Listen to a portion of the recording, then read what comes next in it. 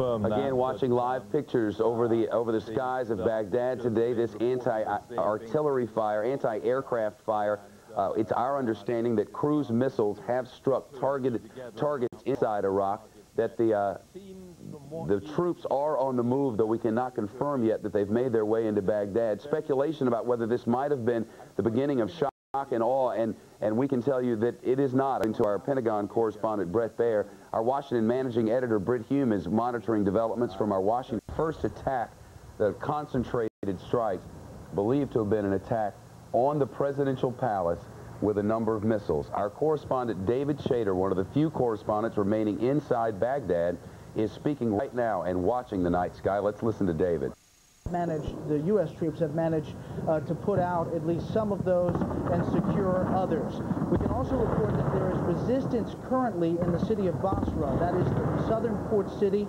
Uh, it is currently ongoing. U.S. troops engaged in firefights there. We're trying to get some uh, visibility as far as how intense that fighting is, uh, but we can tell you that boots on the ground in the south, north, and west are now uh, moving to encircle Baghdad as this air campaign, this massive bombardment, what has been called shock and awe, uh, starts in the city of Baghdad tonight.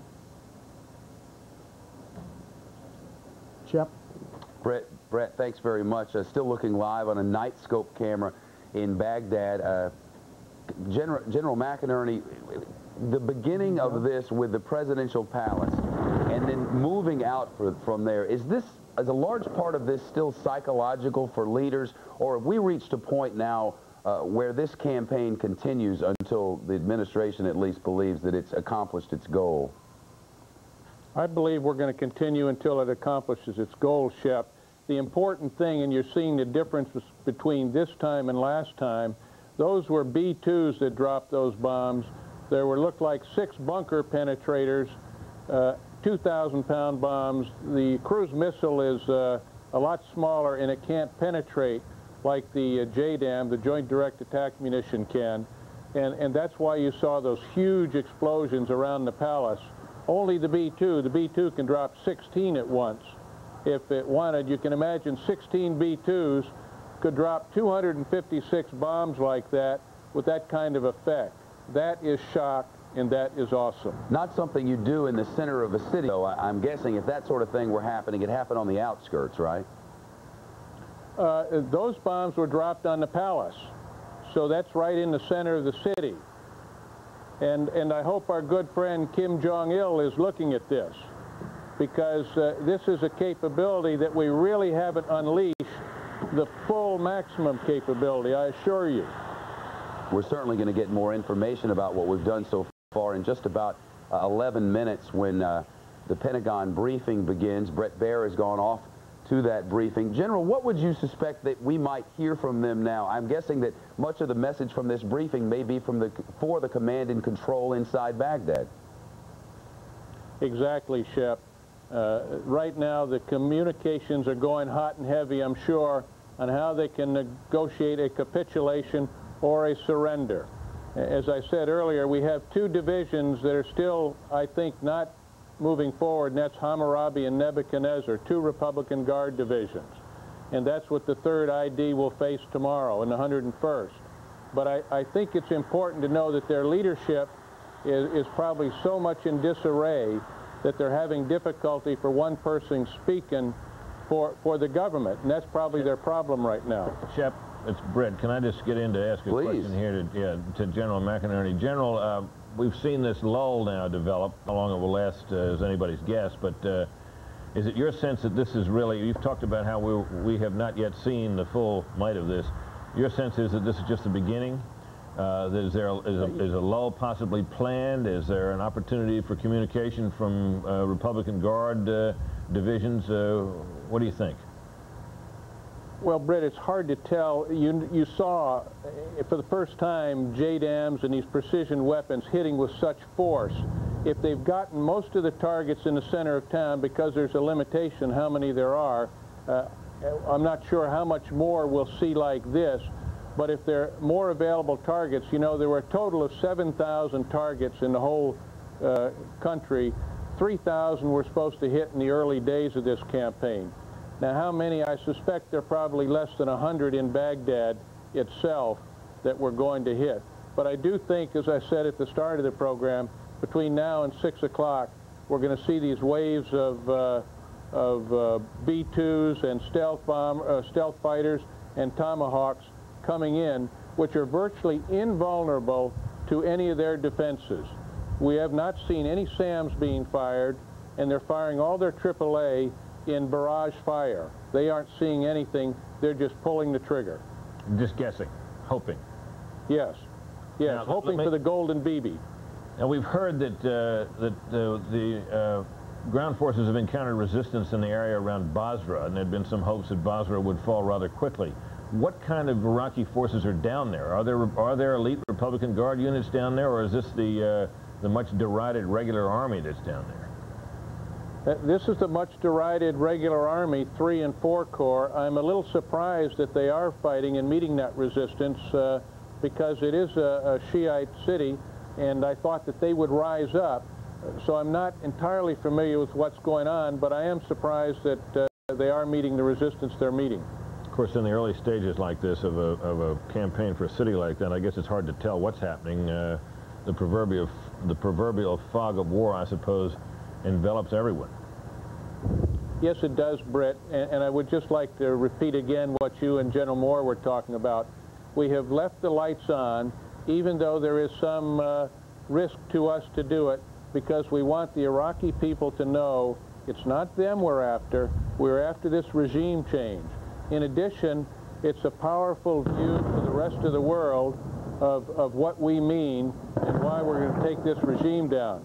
I still believe, I still believe we're going to have a much smaller number of casualties than we did last time. What, what are Sounds those? like uh, secondary. th- those are cruise missiles, I believe.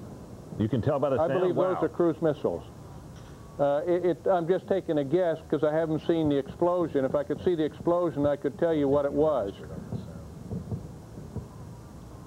Well, we keep looking for. Yeah, for a, I, I did. we keep looking for a no, I camera got that the might show sound on it.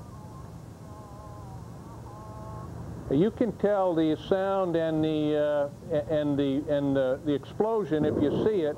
Uh, since I didn't see it and I don't know where the uh, the telephone is, it's kind of hard to tell exactly. But these sound like they're smaller than 2,000 pound bombs. These sound like cruise missiles.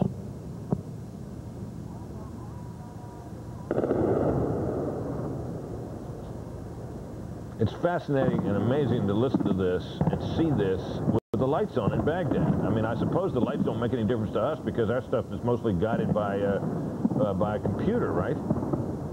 We, we don't care about the lights. As a matter of fact, we do care. We want to watch this. And again, we want to send a signal to the Iraqi people. It's not you we're after. We're after your regime.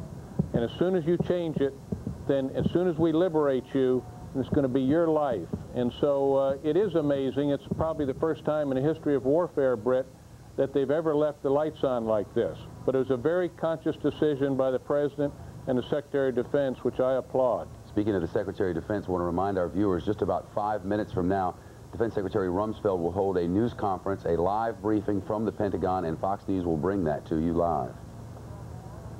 General Moore, as we sit here and watch this, um, lights on, uh, enormous explosions. They seem to come in waves. Uh, anti-aircraft fire that can't seem to do much. Uh, what uh, the great worry, of course, has been all along that the uh, ground forces would encounter very stiff resistance uh, when they reach Baghdad, uh, and that house by you know people have conjured up visions of bloody house-to-house warfare, untold civilian casualties, and so on. What can the bombing campaign that, uh, apart from uh, getting everybody to surrender, but from a military point of view, what can a bombing campaign like this on a city do uh, to eliminate that kind of resistance? Well, in this particular instance, the, the key here is to take out the leadership, decapitate the leadership from its body, and also to eliminate their ability to talk.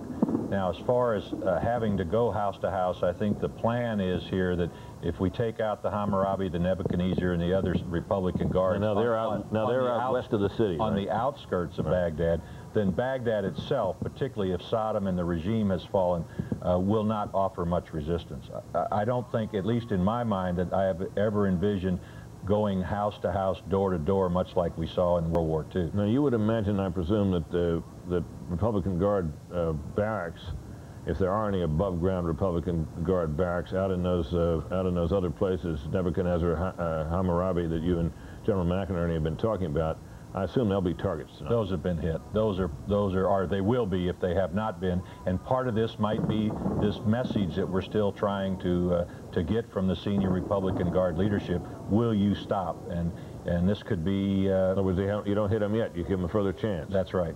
That's right. And and uh, does anyone know if there are Republican Guard barracks in in Baghdad, places that can be hit, where we're assured that uh, that uh, those kinds of military targets uh, are available? Well, in looking uh, at some of the Fox flyover shots that we've we've used in the past, there are several that are right in the outskirts of Baghdad. It's a little hard to tell whether they're east, north, south. I think they're probably on on both sides, but the bulk of the Republican Guard is, uh, forces here have set themselves up south and slightly southwest of Baghdad. Well, we're a little bit out of town. They're outside of, uh, you know, on the Euphrates River. We're so. about a couple minutes away from the uh, briefing from General Myers and Secretary of Defense Rumsfeld. It'll be interesting to see when they come in uh, how much they're willing to say. I rather expect that both men will have a statement of some kind about the nature of the campaign that will be coupled with further urgings of uh, Iraqi commanders to give up uh, it'd be interesting to hear what other message. Secretary Rumsfeld, General Myers have been very careful, much more careful than some other Pentagon officials have been about the uh, scope of what they're willing to say.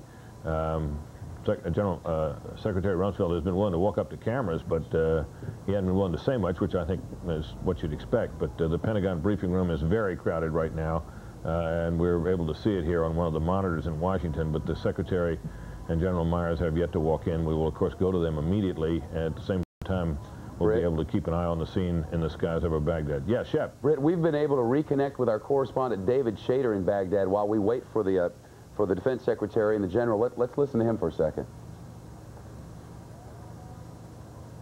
And it just, just goes, to, goes to show that here it comes right here.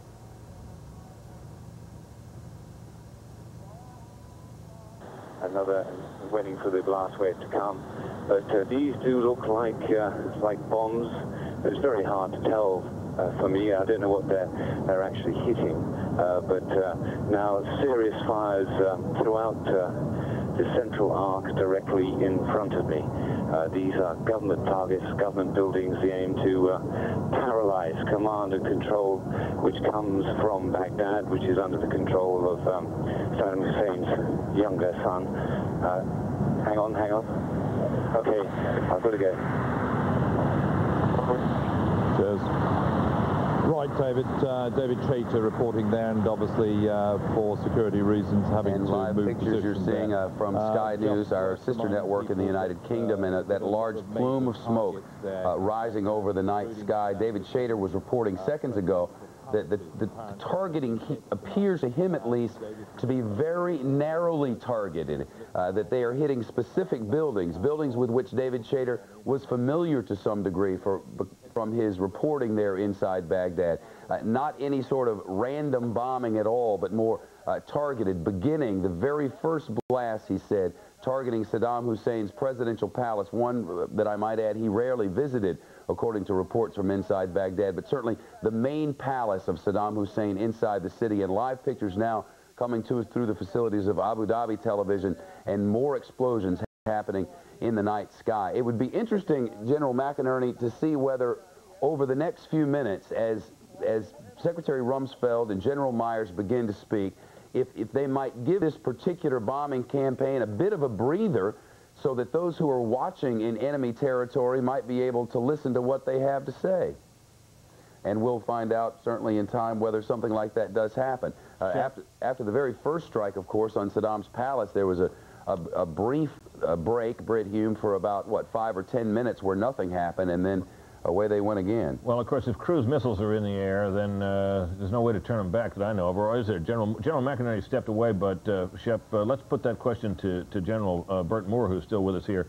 Uh, what about that? Uh, I suggested to General McInerney the possibility you do a lull, hoping for hoping for an answer from Republican Guard headquarters of some kind.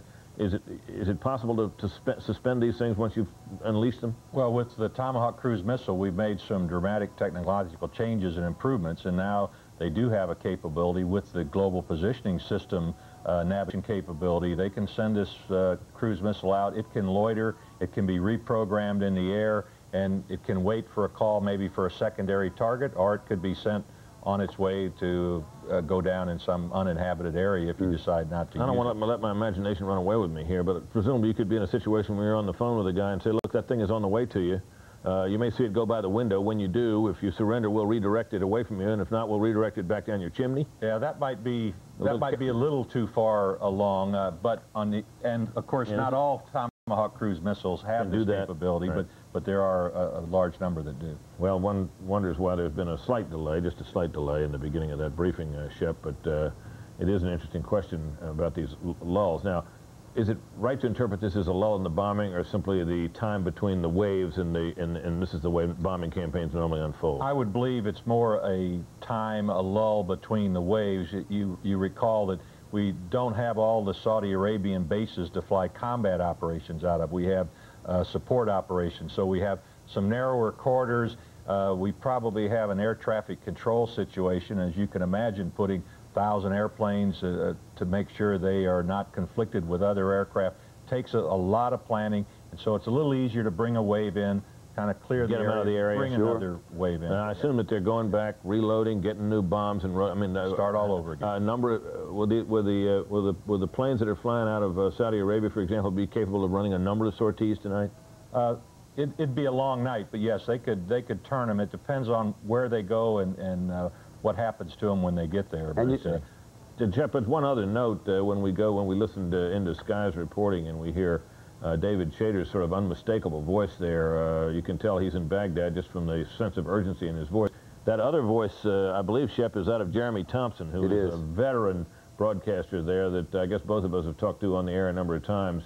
Uh, and Jeremy's kind of the principal uh, lead anchor, one of the most seasoned guys in the country uh, for Sky News. Spent many years with, uh, he's been with BBC, ITN, and now Sky, where he's a major figure. That's just note just for information purposes. Interesting to note that we're talking about a lull in Baghdad, and, and the picture, though, it, it, tells a thousand stories. It doesn't tell all of them. We're, we're getting reports from our correspondent in northern Iraq that there is a, uh, a bombing campaign happening in the city of Kirkuk.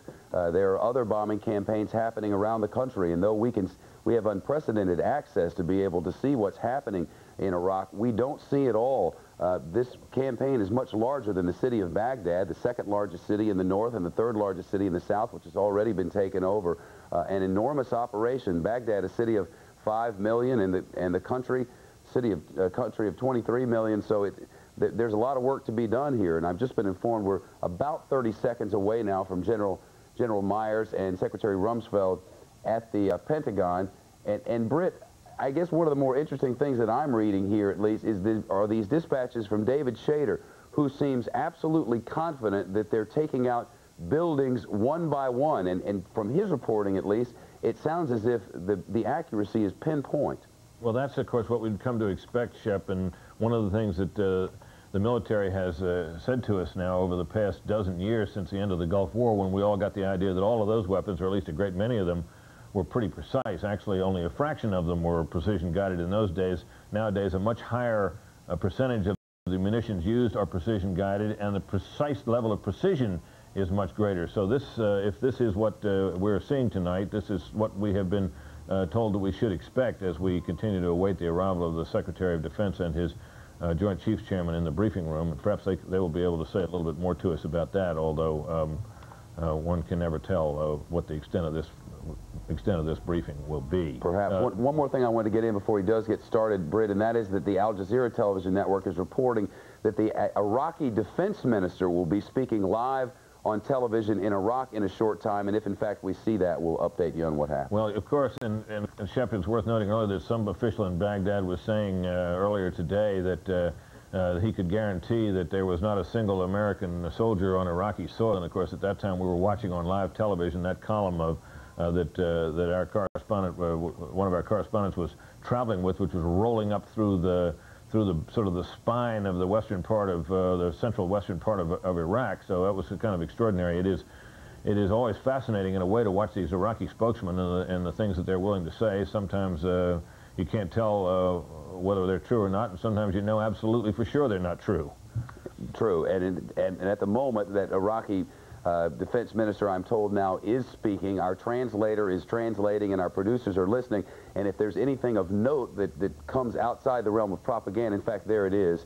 Uh, we're looking live now through the, through the facilities of, I believe, Al Jazeera television. At any rate, the defense minister is speaking and giving an update to the Iraqi people, but I think the more interesting will be uh, Defense Secretary Rumsfeld and General and General Myers, who are now entering the briefing room, it is my understanding, in Washington. So for that, Britt, I'll toss it over to you. All right, we'll just, we continue to await them. They, they gave us about a minute warning uh, several minutes ago, but here they come now.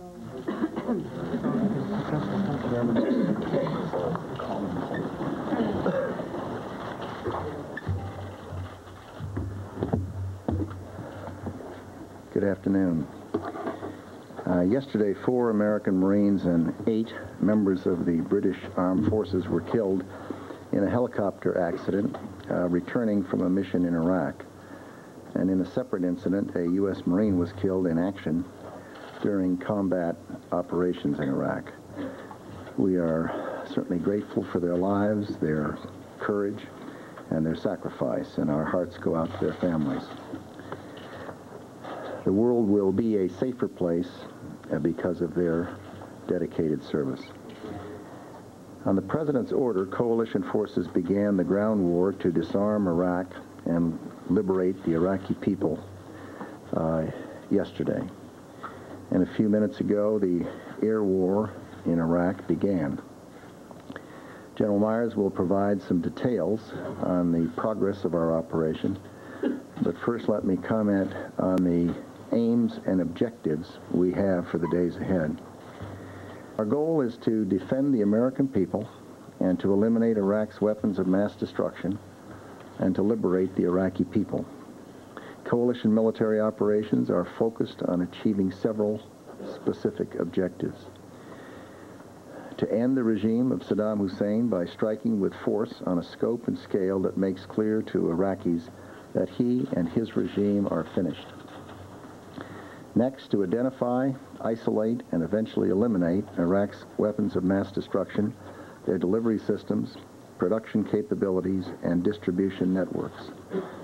Third, to search for, capture, drive out terrorists who have found safe harbor in Iraq. Fourth, to collect such intelligence as we can find related to terrorist networks in Iraq and beyond. Fifth, to collect such intelligence as we can find related to the global network of illicit weapons of mass destruction activity. Sixth, to end sanctions and to immediately deliver humanitarian relief, food and medicine to the displaced and to the many needy Iraqi citizens. Seventh, to secure Iraq's oil fields and resources which belong to the Iraqi people and which they will need to develop their country after decades of a, a neglect by the Iraqi regime. And last, to help the Iraqi people create the conditions for a rapid transition to a representative self-government that is not a threat to its neighbors and is committed to ensuring the territorial integrity of that country. The regime is starting to lose control of their country. Yesterday, the Iraqi information minister declared that the port of Umm Qasr is completely in our hands, quote unquote. Quote, they, the coalition forces, failed to capture it, unquote. In fact, coalition forces did capture it and do control the port of Umm Qasr and also a growing portion of the country of Iraq. The confusion of Iraqi officials is growing. Their ability to see what is happening on the battlefield, to communicate with their forces, and to control their country is slipping away. They're beginning to realize, I suspect, that the regime is history. And as that realization sets in, their behavior is likely to begin to tip and to change. Those close to Saddam Hussein will likely begin searching for a way to save themselves. Those whose obedience is based on fear may well begin to lose their fear of him. Officers and soldiers in the field will increasingly see that their interests lie not in dying for a doomed regime, but in helping the forces of Iraq's liberation. To those in the Iraqi chain of command, some words of advice. Do not obey regime orders to use weapons of mass destruction. Do not obey orders to use innocent civilians as human shields. Do not follow orders to destroy any more of Iraq's oil wells, or to blow up dams, or to flood villages. Those who carry out such orders will be found and will be punished. We are especially grateful for the direct military involvement of the forces of Great Britain and Australia and Poland and so many other countries. And we are deeply grateful for the support of each of the now 45 nations that have publicly associated themselves with the coalition effort in Iraq. We did not choose this war. Saddam Hussein was given a choice by the international community. Give up your weapons of mass murder or lose power. He chose unwisely, and now he will lose both. As in Afghanistan, our objective in Iraq is not conquest or colonization. Iraq belongs to the Iraqi people. Our objective is to bring down a regime that threatens the American people with weapons of mass destruction and create conditions where Iraqis can establish a new government, one that respects the rights of its diverse population and the aspirations of all Iraqis to live in freedom and to choose their own leaders. To American forces and those of our coalition partners, let me say this.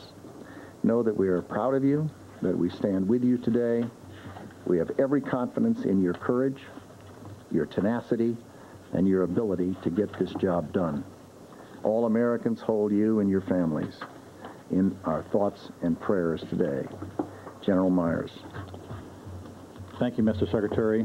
I, too, want to extend my deepest condolences to the families of the Marines, both U.S. and our British allies, who died in the helicopter crash yesterday, and to the family of the Marine killed in action earlier this morning.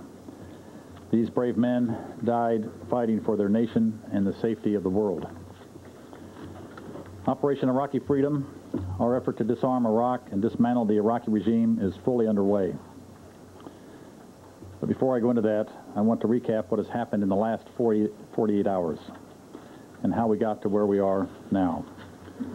On Wednesday afternoon, we conducted early battlefield preparations by taking out air defense threats, radar, communication sites, and artillery that could pose a threat to coalition forces. Some of these targets included radars in western Iraq and near Basra in southern Iraq, artillery pieces near the Al-Faw and Al-Zabar near Kuwait, and surface-to-surface missiles in the south. Later Wednesday evening, coalition forces began inserting special operations forces throughout western and southern Iraq to conduct reconnaissance operations and take down visual observation posts on the southern Iraqi border. At the same time, as we briefed yesterday, we took advantage of a leadership target of opportunity in Baghdad. Specifically, we struck at one of the residences in southeastern Baghdad where we thought the leadership was congregated. Uh, we also took down, uh, struck intelligence service headquarters in Baghdad and a Republican Guard facility. They were targeted with nearly 40, 40 Tomahawk land attack cruise missiles from coalition ships in the Red Sea and the Persian Gulf. Two Air Force F-117s also dropped precision-guided 2,000-pound penetration weapons on these leadership targets. Then yesterday, we launched more than 20 TLAM against eight targets in Baghdad, which included several Baghdad Special Security Organization sites. And as most of you know, the Special Security Organization is that organization that protects the senior Iraqi leadership. Also on Thursday, coalition ships launched some 10 TLAMs against three Republican Guard targets in Kirkuk in the north. In the last 24 hours, Special Forces have seized an airfield in western Iraq and have secured border positions in several key locations. Additionally, Navy SEALs and Coalition Special Forces have seized Iraq's two major gas and oil terminals in the northern Persian Gulf. There were embedded media uh, with the SEALs, and their reports should be out uh, shortly. I also have a graphic, I think, that they'll bring it up, and it's up now. Good. Coalition ships boarded three Iraqi tugboats in the Khor Abdallah waterway and found weapons, uniforms, and mines. Over 130 mines, including influence mines, were discovered. Our naval vessel, vessels are being extra vigilant to ensure the Iraqi Navy has not placed any mines in international waters. On the ground, as you know, this Marine Expeditionary Force, along with our coalition partners, crossed into Iraq, and they have now secured the port city of Umm Qasr and the Al Faw Peninsula. They have also secured the main oil manifolds along the Al Faw waterways and have moved through the southern Iraqi oil fields. These fields, if we're successful, should be secured sometime later today. And they will be a great resource for the Iraqi people as they build a free society. Last night at approximately 10 p.m. Eastern Time, the rest of the ground campaign began in earnest when the 3rd Infantry Division rolled into southern Iraq. There's been a lot of reporting on this, of course, uh, with some of the embedded media. At this hour, our ground forces have pushed close to 100 miles inside Iraq. Since Operation Iraqi Freedom began, coalition aircraft have flown more than 1,000 sorties and dropped scores of precision-guided munitions on Iraqi military targets. I have two gun camera shots from yesterday. Both are from F-14s as they dropped on missile targets in southern Iraq. The first is targeting a missile support vehicle.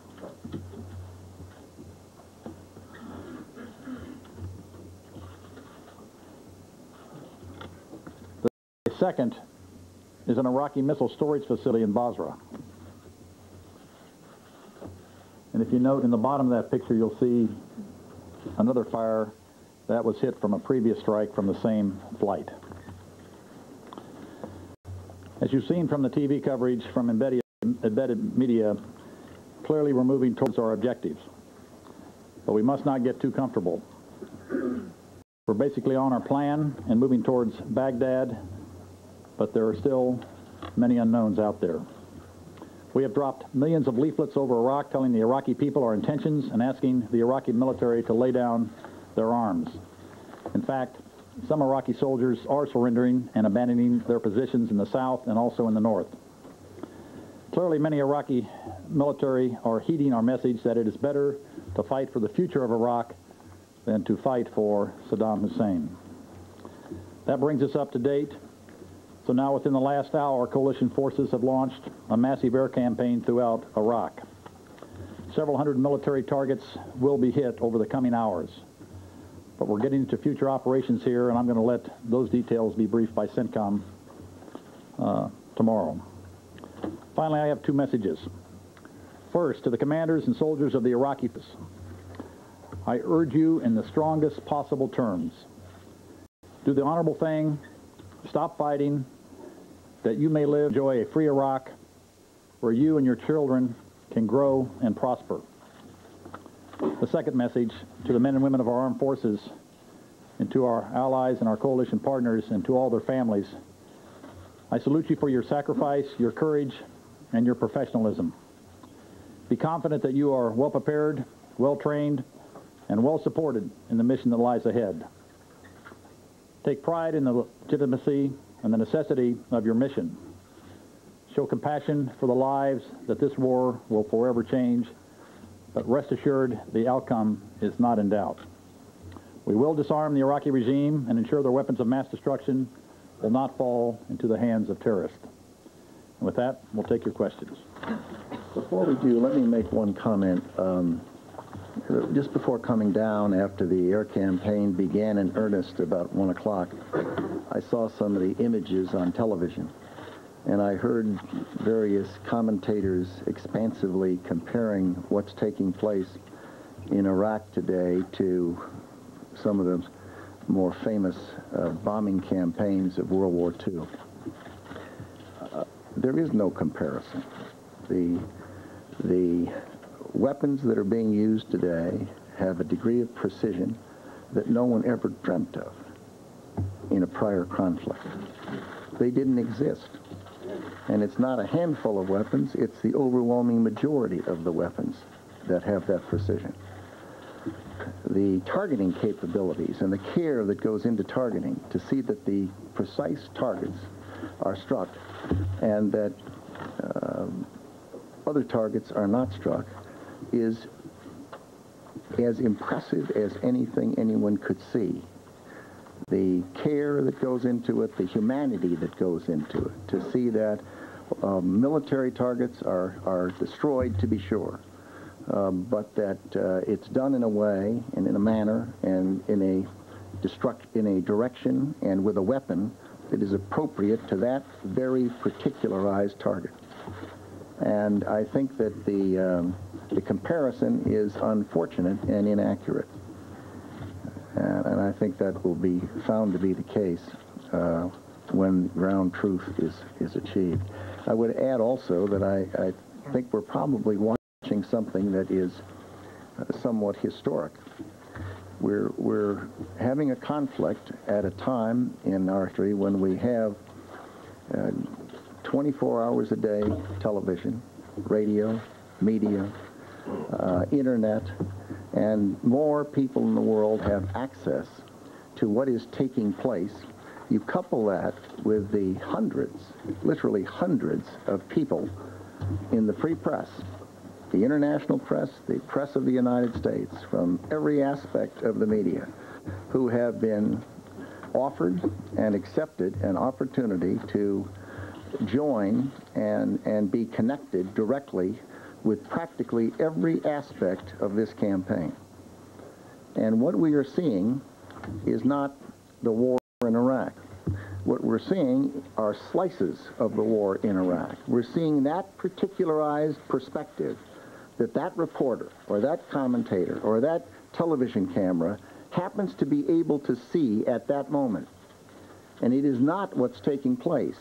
What you see is taking place, to be sure, but it is one slice, and it is the totality of that that is what this war is about and being made up of. And, and I don't, I doubt that, that in a conflict of this type there's ever been the degree of free press coverage uh, as you are witnessing in this instance. Sir. Mr. Secretary, it's obvious from the beginning of this major air campaign and from what you all have said that there's been no general agreement by the Iraqi military leadership for a general surrender. That's for sure. Could I ask, sir, are there talks, possibly direct talks going on between this building and the Iraqi senior military leadership toward that end, possibly? Um, in, in, the way you've put it, the answer is no. If you're thinking, is there country-to-country dialogue taking place? And the answer is no. If you're asking, is there contact between coalition forces and Iraqi forces, the answer is most certainly. There has been over the past period of weeks, and those discussions have intensified, but they tend to be particularized to a specific unit in a specific location. So in terms of any general surrender, they're not, you wouldn't say that there were talks going on high levels? I answer that. The answer is no. Secretary, Mr. Secretary, do you believe Saddam Hussein is currently in control of Iraq? I don't know. Do you have any indication that the leadership has changed hands? I I hear scraps of information, and if I, you can be certain if I had a sufficient number of scraps that it began to make a persuasive case that I would opine on it. Can you characterize the command and control structure that you believe is in place currently inside Baghdad? Until there's good solid evidence that it doesn't exist, uh, we have to assume that it is in place and functioning in one way or another. Our hope, our expectation is that they probably had multiple methods of communicating through their command and control system. They had redundant systems. And so to the extent we are successful in eliminating some, our expectation is that even if it's simply couriers, they will have the ability to communicate. Uh, I think it's a, a, stretch to think it's possible to eliminate their ability to communicate up and down through their command system. Our hope and our prayer is not that we'll get 100% of their ability to communicate, but rather that we will be persuasive enough with the people who would have to implement the orders of the senior people in that regime and persuade them that it is clearly not in their interest to obey those types of orders. Can you help us uh, to clarify here, um, the type of people that you are in contact with represent what? Republican Guard and regular Army outside of Baghdad? Are you in touch with any of those inside, which is where his key uh, levels of support are? Uh, for the most part, it's outside. And, and is that Could you elaborate as much much as you possibly can about uh, the fate of Saddam Hussein and the what you know so far about the success of the strike on the command headquarters? There's no question but that the strike on, that um, leadership headquarters was successful. We have photographs of what took place. Uh, the question is what was in there, and and un- until uh, we gather sufficient information and intelligence and and have more than one source that gives us conviction, uh, we have to assume that uh, uh, the operation is proceeding. Do you have one source that might have perhaps seen him coming out? I don't want to get into that. Mr. Secretary, if Saddam Hussein and his sons were listening to this briefing and they wanted to give up, what precisely should they do? And is now that the air campaign over Baghdad has begun, is it in fact too late for them to choose to go into exile? Is their only choice uh, to be captured, surrender to the United States, or be killed? Is it too late for exile? It is certainly too late for them to stay in power. Uh, what they do with themselves is up to them, and what the people around them do with them is up to the people around them. But uh, uh, you know, it's it's.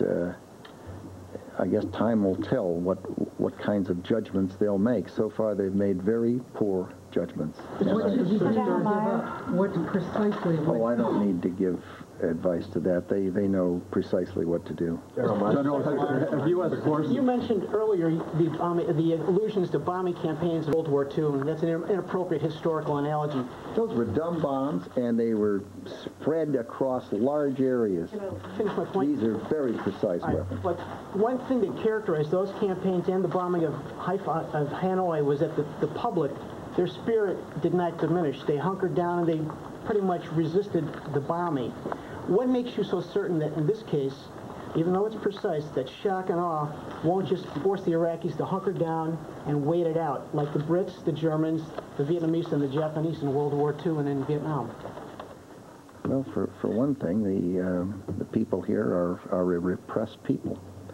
Uh, anyone there, I think, uh, while it has to be a terribly unpleasant circumstance, uh, will have an opportunity to see the precision with which we're going about this task, and that the targets are military targets, and uh, that we we we uh, this is not an attack on the Iraqi people. It's not an attack on the country of Iraq. It's an it's an attack on that regime that has refused to disarm peacefully. Uh, Yes. Can I can I just add to that? I, I just, the Secretary's absolutely right. This is about their military capability, and we have the capability in a uh, reasonably precise way to go after um, those military targets. They're going to diminish their capability over time.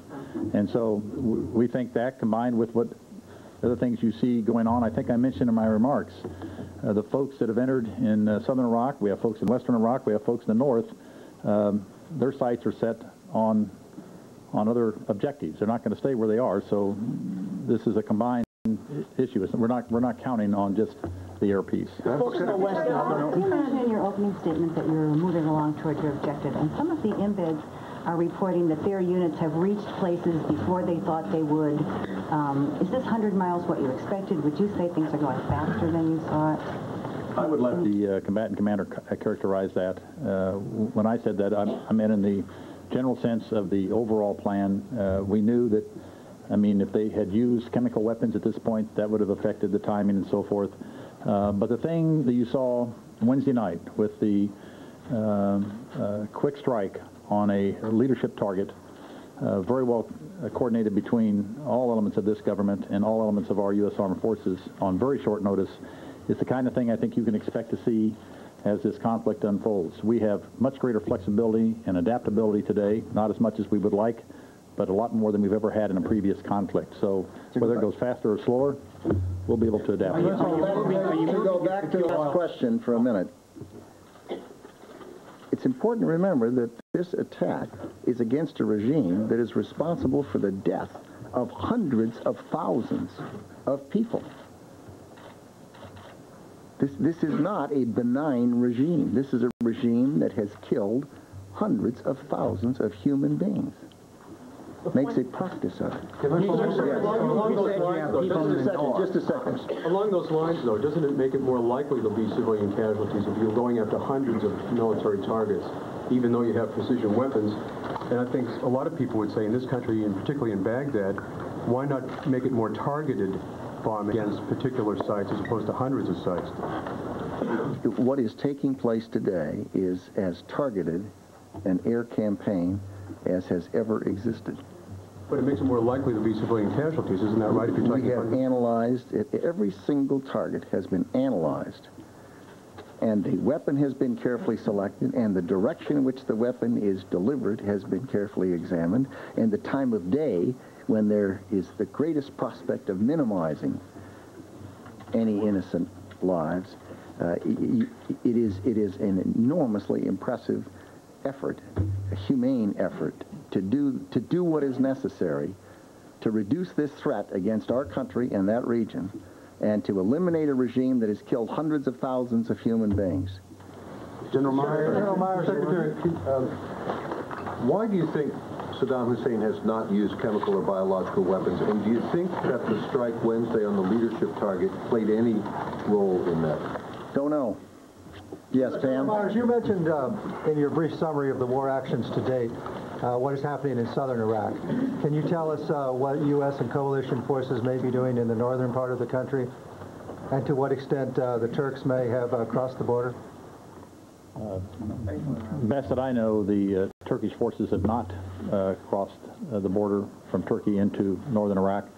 And in terms of the operations up there, uh, we haven't said a lot about them, and I'd prefer to leave that either to CENTCOM or just not to talk about them right now. Just one second, just one second, just one second. I think it should be added that the Turkish forces go in and out of a northern part of Iraq and have for years, and they may have some In fact, forces they have had some forces in northern Iraq for some time, not not associated with what's going on right now. But, but, but in terms of any large numbers, th- they, You've are. repeatedly, you've repeatedly emphasized the fix some more importance of people for oil. Yes. Thank you. Secretary. Yes. Secretary, can you, can you characterize the level of resistance uh, coalition forces are feeling, and is that is there a relationship between resistance and the decision to go ahead with a massive air campaign?